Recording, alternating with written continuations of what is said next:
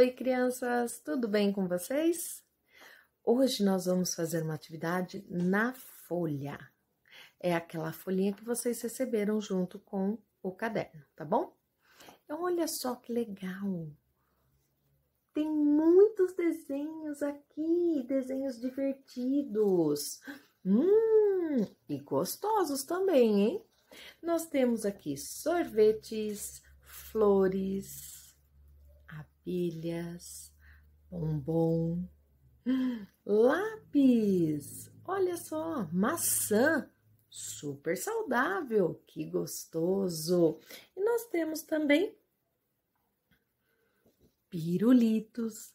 Uau! Muitos desenhos, né, pessoal? Bem bacana.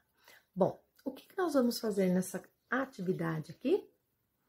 Nós vamos pintar o numeral que indica a quantidade de cada conjunto.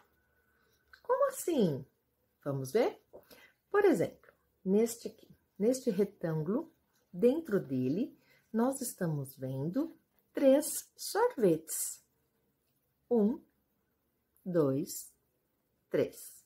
Nós vamos procurar aqui na lateral, dentro dos quadradinhos, o numeral 3 e vamos pintar. Facinho, né?